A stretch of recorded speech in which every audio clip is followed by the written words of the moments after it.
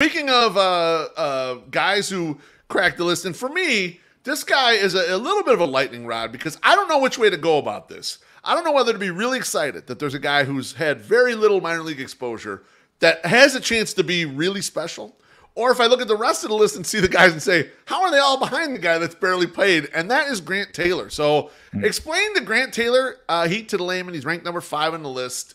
I'm guessing most of the half of the people in the comments probably don't even know who Grant Taylor is. Explain why he's so high, and and what do you and the the Future Sox team like about?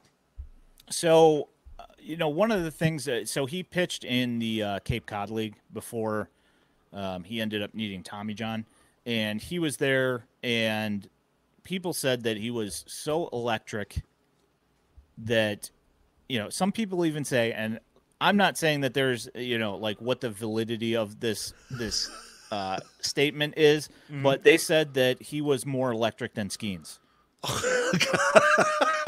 that's that's that's lofty. Even if it was only a couple people saying that, that's lofty. That's that's a that's a that's a big thing to say.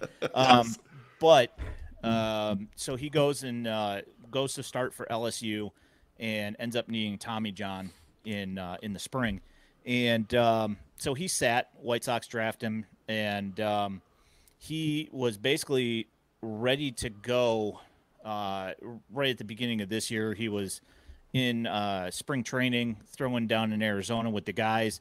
And one of the things that uh, everybody said about him down there was that he's basically like having another pitching coach there at okay. the facility.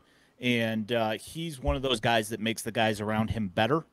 And uh, his stuff is just gross. I think he had like 32 strikeouts to two walks in A ball. Right. Um, just eye popping numbers. I mean, like, yeah, even the short stint there. yeah, and we'll see. Uh, he's he's uh, he's slated to be in the Arizona Fall League because he missed the time. Uh, he right. had like, and this was it. From what I understand, what I was told was that they were going to baby the f out of this guy because they Reasonable. didn't want to push him but that the lat strain that he had was nothing serious and they just didn't want to push it because they didn't feel that they needed to. Right. Yeah. No, I, yeah. I, yeah, I was gonna say because they did give him quite a bit of a long layoff afterwards. It might you lead you to believe like, oh, oh, this is you know this is more trouble. But uh, it, it, it will be interesting to see how he looks in Arizona Fall League uh, against good competition. I mean, generally Arizona yeah. Fall League is pretty pretty good competition, uh, um, and and it's usually uh, light on the pitching because the pitchers are usually the guys that just need more work, not necessarily the uh, the top guys there. So it should yep. be interesting to see if he shines. But uh, yeah, I mean that like uh, part of me is like we've we've graduated a bunch of pitching. I, there's other guys known, and then there's there's this guy laying back in the cut that might also be real good, like these other guys. So like.